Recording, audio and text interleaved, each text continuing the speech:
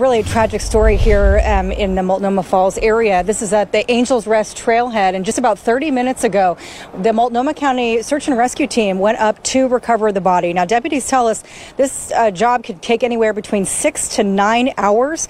Apparently, where the body was found is a pretty difficult terrain, and so they are prepared to uh, bushwhack their way essentially down to the bottom of the cliff of where this body was found.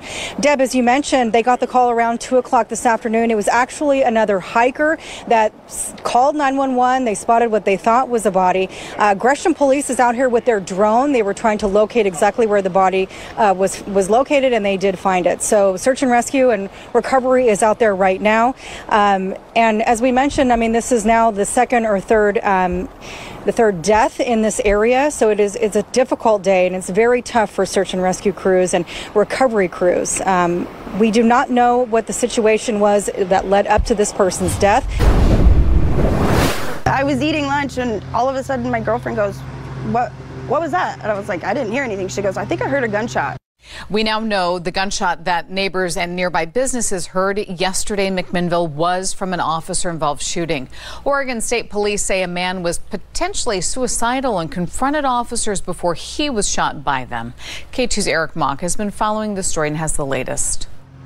I met him before. He always sits over there and smokes cigarettes. Haley Paul was one of 69 year old Lawrence Dixon's neighbors at the Hillsdale Plaza Apartments in McMinnville. She said from their brief, polite interactions, she would never have thought Dixon would die at the hands of police. Oregon State Police say at around 2 p.m. yesterday, McMinnville police officers responded to the apartments for a call of a suicidal man. When they arrived, OSP says Dixon exited his apartment and confronted officers, and at least one round was fired by police, hitting and killing Dixon. Paul said her girlfriend heard the shot and told her, so she came out to investigate and saw the immediate aftermath. So I just walked out my back door and there was a, four cops in like a triangle with shields and one behind and they went over, kicked a handgun and the, the gentleman was already on the ground. So, but they, you know, searched him real quick and then immediately started doing compressions. Paul says she saw officers doing CPR on Dixon for several minutes until an ambulance arrived.